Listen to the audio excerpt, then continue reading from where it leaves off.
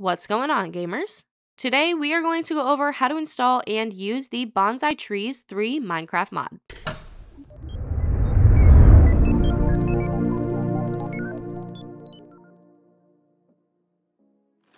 Before we get started, don't forget to like, subscribe, and click that notification bell to stay up to date on all future videos.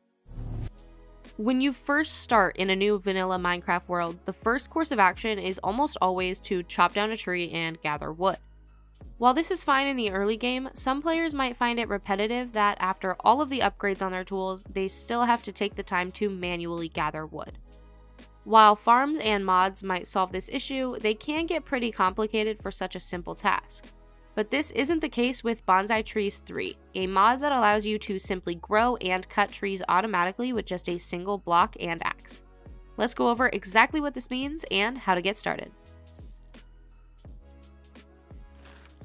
Visit the Bonsai Trees 3 CurseForge page and press Files at the top to view all of the downloads. Scroll down and find the version that you want to use, and then press the download button to the right hand side. After this, save the file to a safe location for later, and then you're going to want to download the matching version of libnonymous. Head to your Apex server panel and stop the server, and then make sure you're running the same game version to the mods that you just downloaded. Afterwards, you can enter the FTP file access in the left-hand menu, log in, and then enter the mods folder and press upload in the top left. On the next page, drag and drop the mod files into the right hand side, and once they are 100% uploaded, you can use your server name at the top of the page to return to the main panel where you can restart the server. Now before we move on, make sure you have Forge installed on your client, and after that, you can open your Minecraft launcher and head to installations at the top. Hover over your Forge profile and then press open folder in the right hand side and in the new window, you can find or create the mods folder and open it. Paste the Bonsai Trees 3 and libnonymous jar files here, and then you can return to the launcher and push play. When you enter the server, you're not going to see any changes right away, but you will be able to see that there is a new recipe in your world, the bonsai pot. To start, you're going to need 5 bricks, which you are going to craft into a U shape to create the pot. This is what makes the whole mod work, allowing you to grow miniature versions of plants and obtain their drops. Once crafted, find a good spot to put it and grab a sapling of your choice.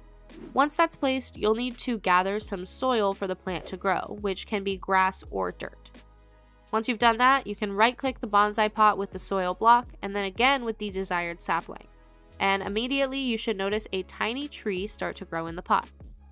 By right-clicking that pot with an empty hand, a GUI will open, allowing you to view the details of this pot. This includes the growth process, upgrade bar, and output bar. To gather wood from your bonsai tree, right-click the axe symbol to the right of the progress bar. This might feel tedious, but it'll be solved later on with some minor upgrades. There are a few different upgrades that can be added to your bonsai pot that can change the drops or even add automatic wood collection. An axe of any kind will automatically collect the plant drops after the progress bar hits 100%. Efficiency is going to increase the growth rate for the bonsai tree.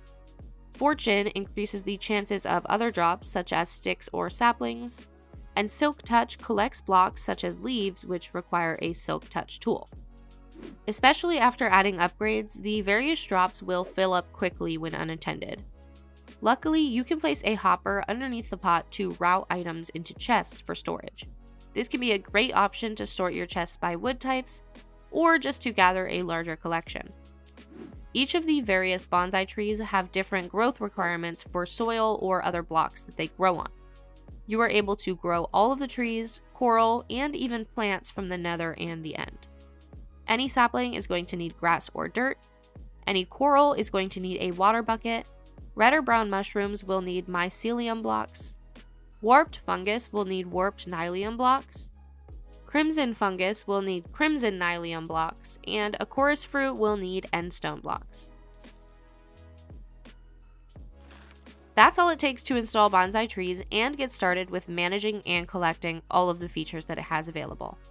Not only will it help you collect wood faster, but it can help with other items too.